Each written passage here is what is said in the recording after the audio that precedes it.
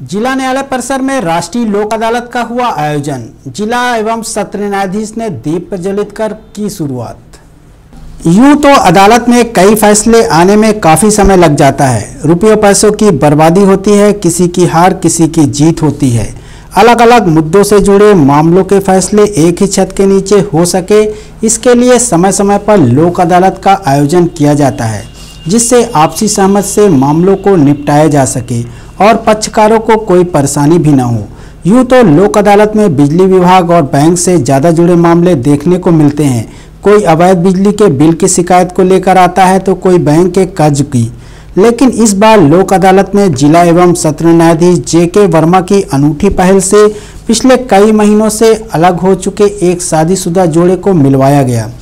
दरअसल 27 मई 2014 में मनकहरी निवासी श्रीनिवास कुशवाहा और सिमरिया के पिपरा निवासी निशा कुशवाहा की शादी हुई थी। लेकिन पिछले पाँच छः महीने पहले दोनों अलग हो गए और अदालत में मामला भी चल रहा था। पति पत्नी के बीच कुछ विवाद हुआ, जिसके बाद दोनों अलग हो गए। लेकिन रविवार को आयोजित लोक अदालत में आपसी सहमत से दोनों एक दूसरे के साथ रहने को तैयार हो गए। दोनों ने जिला एवं सत्र न्यायाधीश के सामने एक दूसरे को माला पहनाया और दूल्हा अपनी दुल्हन को लेकर चला गया। इस तरह के फैसले देखकर लोक अदालत का महत्व और बढ़ जाता है, जिसमें ना किसी की जीत और ना किसी की हार, सभी फैसले आपसी सहमत से हो जाते हैं, जिसमें दोनों लोग खुश हो जाते हैं। इन दोनों हस्बैंड और वाइफ का मामला लगभग एक वर्ष से न्यायालय में लंबित था और कुछ घरेलू विवाद था इनके मध्य में।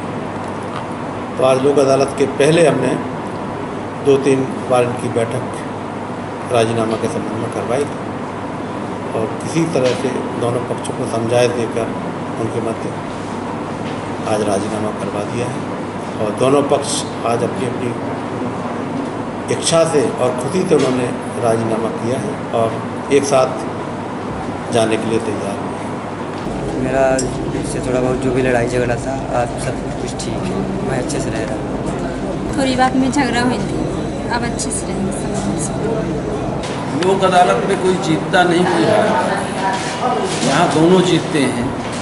और पिछड़े, खासकर ये फैमिली मैटर में, पिछड़े परिवारों को, जैसे आज हमारे जज साहब ने पिछड़े दो परिवारों को मिला दिया, इससे बड़ा पुण्य का काम नहीं हो सकता। और लोक अदालत को प्रोत्साहन दिया जाना चाहिए। लोक अदालत से ज़्यादा से ज़्यादा मामले निपटने चाहिए, क्योंकि पेंडेंसी तीन लाख बारह हज़ार केस पेंडिंग है। तो वो निराकरण हो पाएगा अदालत उसको निराकरण करेगी, ऐसा असंभव दिख रहा है। इसलिए लोक अदालत ही एक ऐसा माध्यम है। खासकर सिविल डिस्प्यूट, क्रिमिनल के छोटे छोटे डिस्प्यूट फैमिली मैटर, ये लोक अदालत से निपटाए जाने चाहिए। तभी न्याय हो पाएगा और बाकी कामों के लिए न्यायाधीश हमारे खाली हो पाएँगे और बाकी न्याय काम कर पाएँगे।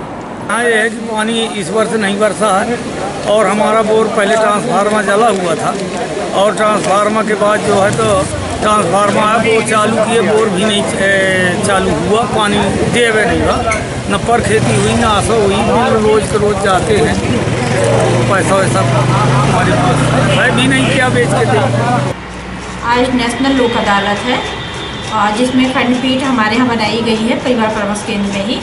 जिसमें अभी तक हमारे 16 केस निपट चुके हैं और इसमें पीठासीन अधिकारी एडिशनल एसपी सर को बनाया गया है और बाकी हम लोग यहाँ दो सदस्य हैं। हम, हमारे ऊपर बिजली की चोरी का इल्ज़ाम लगाया गया। तैतीस हज़ार रुपये मेरे ऊपर बिल दिया गया। हमारे गाँव के 18 लोगों के ऊपर बिजली का बिल लगाया गया है। जब, जबकि जिनके थ्रेसर खड़े हैं तीन तीन साल चार चार साल से थ्रेसर खड़े चलते भी नहीं हैं उनको देखे नहीं। मनमानी अपने ढंग से पंचनामा तैयार कर लिए अपने विभाग के लोगों को और कोर्ट के लिए ये मुकदमा कायम कर हम कहते हैं कि तीस हज़ार दे दो तैतीस हज़ार में तीस हज़ार दे दो। हम कहाँ पाएँ सर? सब हम लोग 90 परसेंट हार्वेस्टर से कटाई करते हैं मात्र 10 परसेंट हम लोग रखते हैं। इतना ऊर्जा हम कहाँ खा लिए कि तैतीस हज़ार का ऊर्जा एक महीने में खा लिए? और ये बिजली विभाग मनमाना कर रही है।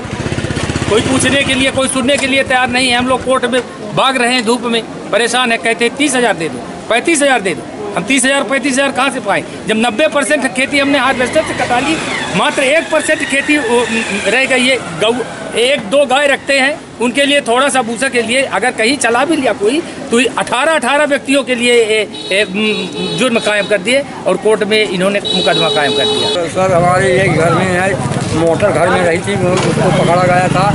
आ, आ, आवाज़ सब हुआ कीन गए सर आ घर के बिजली पर से जमाते हैं तो लिखे बीस साल पहले के लिख के हमें वो दिए गए हैं नोटिस दिए गए कम से कम पच्चीस हज़ार रुपये आ हम पर से आ, आटा जो के खम्मा गड़वाए हैं हमसे मांग रहे हैं पचास हज़ार रुपया तब केबल खींची गई आपको कमीशन देंगे आटा फरमा लगाएँगे